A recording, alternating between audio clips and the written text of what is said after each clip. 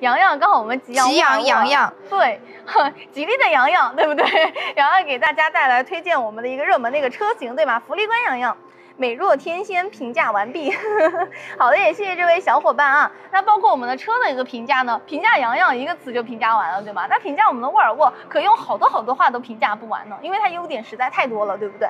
它优点呢最显著的一个优点呢就是它的一个安全性，对不对？当然除了安全性以外呢，其他呢它也是非常能拿得出手的。比如说刚才洋洋说了，跟我们安全息息相关的还有什么呀？就是我们的一个车。呃，乘坐者和驾驶者的一个健康问题，对不对？其实洋洋呢，之前在我们直播间呢，也一直跟大家说过了。洋洋每次呢，都是坐在我们的一个展展示车型里面给大家进行讲解的。我们像我们这个车可是纯新车的啊，并且大家也知道了，我们的展车里面呢，也不会放什么啊竹炭包呀这种乱七八糟的东西，对不对？但是洋洋坐在我们的这个车内呢，是一点异味都闻不到的啊，一点异味都闻不到的，因为我们所有的一个内饰，不管它是真皮的也好，还是布面的也好，它。采用的一个材料呢，都是最高标准、健康无毒的一个环保的一个材料啊，并且全车的一个塑料件呢，都是做了防过敏测试的，并且是通过了防过敏协会认证的一个防过敏的一个材料，并不是说我们张嘴就说它是不过敏的，就是这样子啊，我们是有通过协会认证的，我们是有证的，好不好？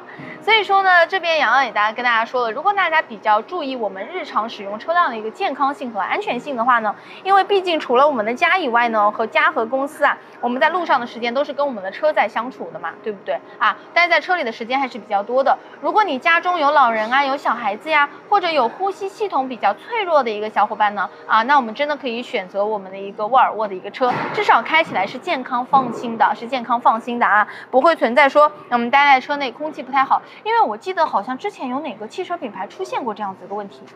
嗯，好像是某个德系的豪华汽车品牌。具体什么的话，我们也免得说大家说我们拉踩了，对不对？有这么一个豪华品牌出过这个事情啊，说车内的一个甲醛含量超标啊，结果导致大家出现了一系列的健康问题，后来还全部都已经召回了，对不对？有这么一个事情啊，但是这种事情呢，但是这种事情呢，在我们这边，在我们这边是不可能。